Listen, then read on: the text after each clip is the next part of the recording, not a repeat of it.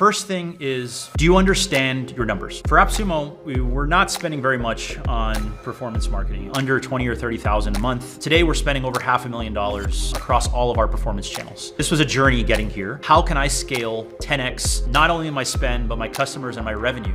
At the beginning, we did not. And it wasn't until we took our data to the next level. Where are the customers online? You're testing all these things, and, and you're really just looking for a place that you can get some initial traction. Boom, you find a couple. For AppSumo, we're doing affiliate marketing. We start to get some traction where our marketing mix starts to get a little bit more complex. If we continued spending and continued testing in the way that we started, the business would probably not have grown as fast as it has. We knew that we had to increase the data clarity of the business. We developed a data warehouse where all of our Stripe payment processing data was paired with the source data that came in from the traffic channel. We developed a profit first methodology to spending money. That for me has been the key to success for our paid marketing, for our performance marketing, and how we've been able to scale to 10x the spend and really have a control every single campaign, every single affiliate, ad set, and ad is measured on this profit ratio.